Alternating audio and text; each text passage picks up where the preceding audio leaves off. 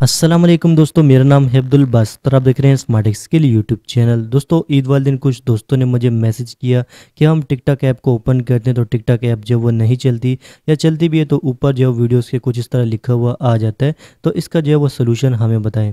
तो बेसिकली ईद वाले दिन तो मैं थोड़ा सा बिज़ी था, इस वजह से मैं इस टॉपिक पर वीडियो नहीं बना पाया तो मैंने सोचा आज इस टॉपिक पर जो वीडियो बना लेता हूँ। तो बेसिकली हुआ क्या था कि ईद वाले दिन दोबारा एक मरतबा जो है वो टिकटॉक ऐप जो है वो पाकिस्तान में बैन हुई है। हुकूमत पाकिस्तान ने टिक टिकटॉक ऐप को जो है बैन कर दिया था। गलत कंटेंट की वजह से, जिसकी वजह से अब जो है वो आप पाकिस्तान में नॉर्मली टिकटॉक ऐप को जो है वो यूज़ नहीं कर पाएँगे और ये एरर जो है वो इसी वजह से आता है।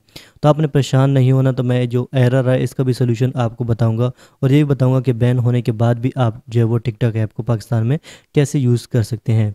तो इसके लिए सिंपल आपने क्या करना है? सबसे पहले अपने मोबाइल के अंदर प्ले स्टोर को ओपन करना है। ओपन करने के बाद यहाँ सर्च बार में आपने लिखना है सुपर वीपीएन इसको सर्च कर करें तो आपके पास ये वीपीएन आ जाएगा। आपने इसको जो प्ले स्टोर से इंस्टॉल कर लेना इंस्टॉल करने के बाद सिंपल आपने ऐप को ओपन करना ऐप को ओपन करेंगे तो ऐप जब वो थोड़ी सी लोड होगी और उसके बाद आपके पास एक ऐड आएगा। ऐड जो ऐड आएगा इसको आपने यहाँ से क्लोज कर देना है। उसके बाद आपने कंटिन्यू वाले ऑप्शन पर क्लिक करना है।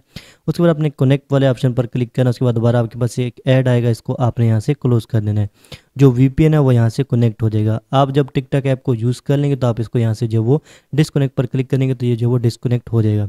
तो सबसे पहले यहाँ पर आपने सभी ऐप्स को यहाँ से बंद कर देना, उसके बाद आपने टिकटॉक ऐप को ओपन करना है। जैसे आप टिकटॉक ऐप को ओपन करेंगे तो आप जो वो टिकटॉक ऐप को यूज़ कर पाएँगे। यहाँ पर आप हैं नॉर्मली जिस तरह हम टिकटॉक ऐप को यूज़ करते हैं, उस तरह यहाँ पर जो वो टिकटॉक ऐप जो वो चल रही है।